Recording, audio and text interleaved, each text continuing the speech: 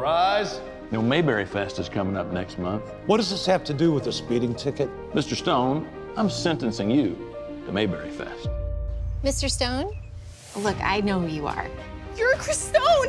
The son of Walter Stone from season three. Welcome to Mayberry Fest. Have you ever heard of Mayberry Fest? Dad used to go to it every year till he got too old. Oh, you're Chris Stone, Walter's son. Yeah. He's just a two-bit actor. He's your dad, man. No, Larry. He's your dad. Mayberry isn't just a place, it's a state of mind. It's in Georgia, it's in Indiana.